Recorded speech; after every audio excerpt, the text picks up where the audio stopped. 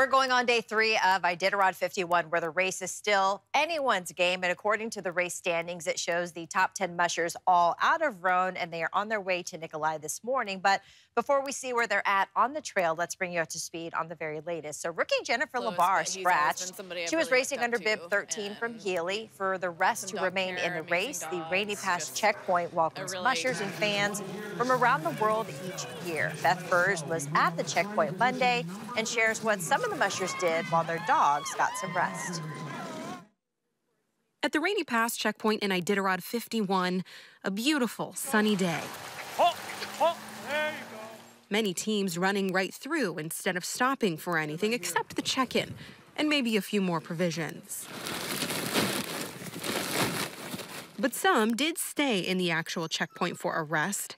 Among them, veteran Ryan Redington and Hunter Keefe, a rookie who's running some of the Reddington family's dogs. I just got really, really lucky. All the Redingtons have, um, all of them have played really big roles in my life. Robert's the one who kind of got me there with Ramey. Um, I needed a place to stay, and while I was working in Knik, and it just worked out that I started running his dogs three years ago. And um, Brian's been a great mentor role as well. Yeah, I had three top tens in a row, so another top 10 finish would be cool, but it's dog racing and we got a long ways to go. And while the first two to arrive to Rainy Pass had a head start on their rest, veteran Dan Kaduce was the next to give his dogs a revamp inside the checkpoint. It's certainly sunny. uh, yeah. No, the trail was all right. Uh, not the greatest ever, not the worst ever by any means. Uh, but uh, plenty of snow. Part of that was the toasty temps during the day, which are already changing conditions, and the way teams are running this race. Bluebird Skies, a fan's dream. Great experience. I would say bucket list experience for us. It has just been wonderful. So glad you talked me into it because I was like, I don't know, Alaska in March? Are you? this has been an awesome experience. It has. What a great trip. Seeing one of the checkpoints, it's been fun and exciting.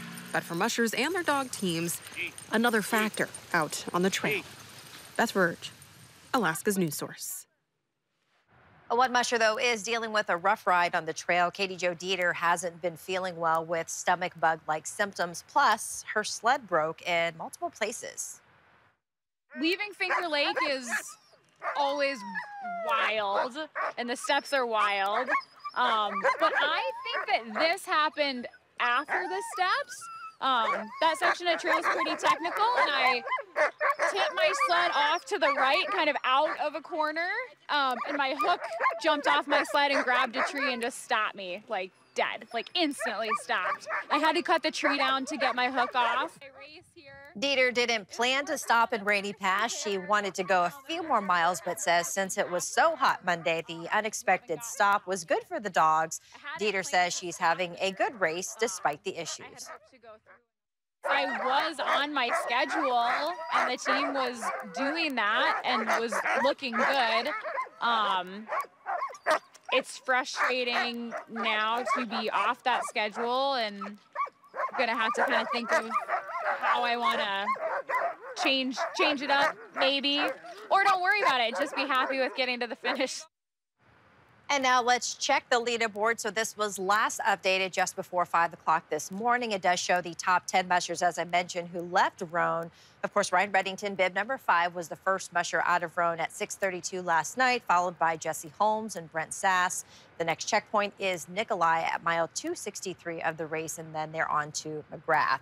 Now, even though the standings show mushers leaving a checkpoint, there is a lot that can happen out on the trail in between each. Some can be resting while others are continue racing.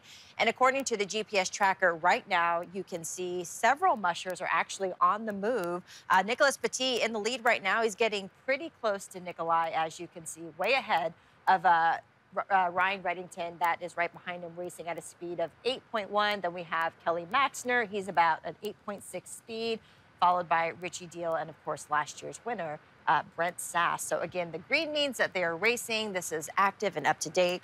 If you do see an orange flag, which a little bit more down the ways, that means that they're resting. But again, this is ever changing. And of course, you can always get the most up to date results by keeping track with us on alaskasnewssource.com.